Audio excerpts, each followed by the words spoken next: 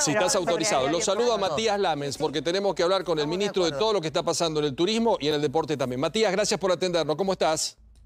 ¿Qué tal, Pablo? ¿Cómo andás? Buenas noches. Bien, bien, un gusto. Bueno, llegaste a un área donde el coronavirus armó un escándalo, ¿no? Porque si hay algo afectadísimo es el turismo en el mundo, con todo lo que significa eh, aviones, aeropuertos, agencias de viaje, movilidad, esa industria que no tiene una chimenea y que genera tanto dinero, y el deporte, que no es solamente el fútbol, ¿no?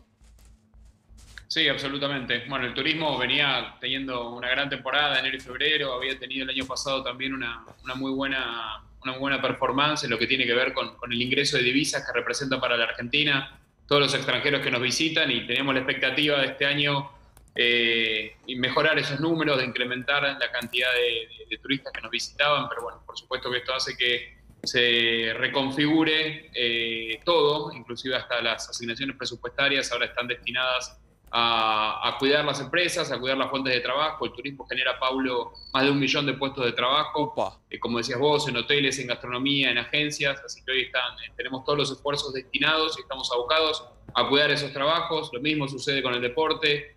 Eh, la verdad que una de las actividades que, van a volver más tarde y que más afectadas están tiene que ver con, las que se desarrollan en los clubes.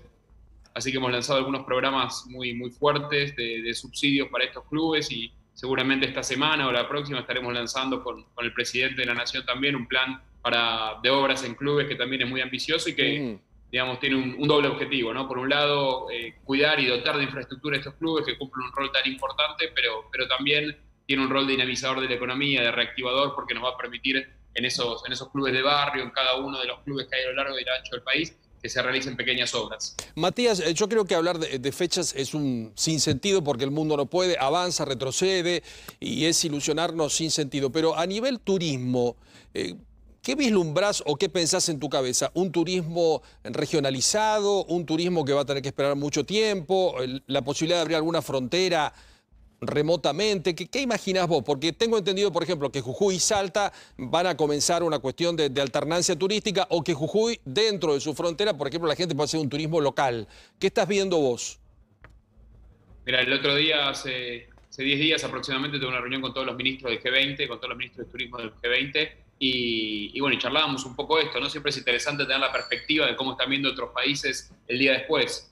Yo creo que esto que, está sucediendo en Jujuy, en Salta, que está empezando a ver en algunas provincias que no tienen circulación comunitaria masiva y que tienen muy pocos casos o que prácticamente no tienen, eh, es, una buena medida, es una buena prueba. Después, como bien decís vos, la verdad que es tan difícil establecer fechas porque uno cuando, cuando da una fecha y cuando, y cuando es de alguna manera la voz oficial en ese sentido, sabe que genera expectativas y esas expectativas a veces después eh, son difíciles de manejar. Entonces. Por eso hay que, hay que ser muy cauteloso cuando uno, cuando uno da una fecha. Lo mismo sucede, y Pablo, algo que, que, vos conoces bien con el fútbol, ¿no? Hay que, hay que, hay que dar pasos sobre, muy, muy sobre firme porque uno corre el riesgo en este, con este coronavirus que estamos descubriendo, inclusive los científicos también en todo el mundo que están, eh, que están descubriendo que se comporta diferente en cada, en cada geografía. Eso hace que, que no, no, no, podamos dar un paso adelante porque muy probablemente tengamos que dar dos para atrás. Matías, hubo una polémica pocos días atrás que creo que te involucró sobre si se estaba dando o no asistencia financiera a los clubes grandes de la Argentina. Hablo de grandes, los que tienen fútbol como Boca, River, Racing, Independiente. ¿En qué estado está eso? ¿Los clubes eh, recibieron asistencia o no? Mira, lo que se hizo es el programa de ATP, de la asistencia al trabajo y la producción, que tiene que ver con, cuidar, eh, cuidar el empleo justamente, y ahí hay, hay un una, variable que es eh, la que determina si se adjudica o no ese, ese subsidio, ese 50% del pago de los salarios por parte del Estado y la exhibición del 95% de las contribuciones patronales, que tiene que ver con la facturación que tuvieron el año pasado y, y seguramente en esta, en esta nueva etapa agreguemos también el rol social que cumplen los clubes, Gustavo. Estás viendo mm. lo que sucede en San Lorenzo, en Nueva Chicago, en un montón de clubes que han abierto sus puertas, que inclusive no solamente son centros de aislamiento, sino que son centros de testeo masivo. Sí, sí, sí, muy, muy fuerte y muy, bueno. Eh, Matías, vos hablás de un millón de personas afectadas a lo que es el turismo. ¿Qué cantidad de gente tenemos afectada al deporte? Si lo ampliamos un poco más del fútbol, ¿hay un número? Sí, son, son más de 100.000, son más de 100.000 en lo que tiene que ver específicamente con el fútbol. Mm. Eh, imagínate que después está todo el resto de los deportes. Uno lo puede eso contabilizar fácilmente por la cantidad de trabajadores que están nucleados en, en el gremio en UTEDIC y, y bueno, después todos los empleos indirectos que eso genera, ¿no? Todo lo que, lo que significa producción de esos eventos, todo, todo lo que genera el fútbol y todo lo que hay alrededor, que en Argentina es una industria y representa un porcentaje del PBI. Claro. Y otros deportes, no Todos. solo el fútbol. No, no, todos, todos. Es el secretario de deportes y le estamos pre- preguntando solo de fútbol. No, no, pero él habla, puso- él, él lo, lo globaliza porque son todas las disciplinas Por que van a entrar en un protocolo y, y por supuesto que no es solo el, el fútbol, el fútbol porque tiene la pasión y, es una, industria propia. Bien, Úrsula, no, no, digamos, es el Todo. Eh, Matías, buenas noches. Hoy vemos el, el inicio de la liga alemana, ahora parece que todos los futboleros en, en abstinencia van hacia ahí. Pensando en que la cuarentena en Argentina empieza a ser dispar según la situación de cada provincia, ¿se podría llegar a pensar a futuro, no te digo ya mismo, la semana que viene, pero en algún momento en que esos, esas eh, provincias, esas ciudades que no tengan casos o que tengan muy pocos casos, empiecen a tener algunas disciplinas deportivas en funcionamiento? ¿O tenemos que tener el país, digamos, entre comillas, libre de coronavirus para reactivar el deporte? No, por su- eh, está bien la pregunta, por supuesto que se puede, ¿no? Como- como- creo que vale lo mismo y la argumentación es, es absolutamente similar a la que te di antes con el, con el turismo, porque la verdad que en, algunos, en algunas ciudades, en algunas provincias donde no hay circulación comunitaria masiva, donde no hay viajes, donde no, hay, donde no llegan nuevos visitantes, eh, es lógico que ahí se empiece a plantear un protocolo, por supuesto que con un protocolo de- exigente, con un protocolo estricto, pero, pero que se empiece a plantar de a poco la Y de hecho, Matías.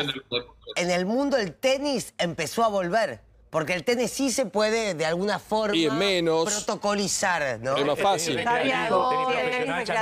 los vuelve jugadores. Claro. Matías, si hay alguna El mundo- posibilidad, te lo El pregunto. del tenis presentó un protocolo a la Asociación Argentina de Tenis. Sí. Claro. Mm. Te lo pregunto. Que ya lo vimos, que ya lo vimos con el Ministerio de Salud, que la verdad que está muy bien. Ujú. La verdad que está muy bien el protocolo de, de que presentó la Asociación Argentina de Tenis. Y eso hizo que en algunas provincias se empiece, se empiece a permitir la práctica de este deporte. No- Que como dicen ustedes, ¿no? Al, al no haber contacto, al estarse al- al haber distinto. un buen distanciamiento entre los dos jugadores, eso sin compartir vestuario y con algunas restricciones particulares que tienen que ver que, Claro. que cambian un poco como, como jugaban al tenis antes, pero que se pueden empezar a hacer. Exacto. Ahora, Matías, teniendo en cuenta que es el AMBA, la, la- la zona metropolitana la más complicada, y después tenés alguna otra provincia más como Chaco o Río Negro. Sería muy loco pensar llevar, no sé, por el- la finalización del torneo de fútbol a tres o cuatro provincias que no tienen ningún caso, que los planteles Claro. se instalen ahí y jugar los partidos ahí. Mirá, ya me lo, me lo preguntaron. La verdad que esa, Gustavo, es una decisión que no depende de nosotros. Cada una de las federaciones, cada una de las ligas tiene que tomar esa decisión. Sí, te puedo contestar y para, para hacer un ejercicio, digamos, de, de- de- de simulación, que en ese caso habría que testear a todos los que van, porque uno no puede Claro. mandar a planteles enteros de Ciudad de Buenos Aires y de provincia, donde sí hay circulación comunitaria masiva, a, no sé, a Catamarca, que no hay Mm. ningún caso. Habría que testear a todos los que van y en ese caso eh, tenerlos a todos en un, en un hotel. digamos, Bueno, no es ninguna locura, en España lo han hecho con, con el básquet, ¿no? Están buscando una sede única, Sí. están juntando a todos los equipos en una ciudad y van, y, y van a definirlo de esa manera. Ujú. La verdad que es una decisión que no depende del Estado Nacional. Muchas gracias, Matías, por atendernos. Te mando un abrazo grande. Felicitaciones a todos a Lorenzo por lo que está haciendo ahí frente a la 1 11 14 y nos encontramos en cualquier momento. ¿eh? Gracias. Gracias, Pablo, un abrazo para todos. Chau, chau. Gracias, chicos. ¿eh? Gracias, chicas. A vos, Hasta la próxima.